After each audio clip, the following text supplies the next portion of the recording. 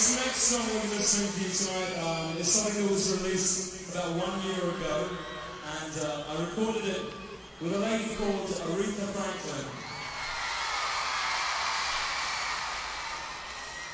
I'm pretty sure you know the words to this one. So I want to hear your voices. It's called I Knew You Were Waiting For Me.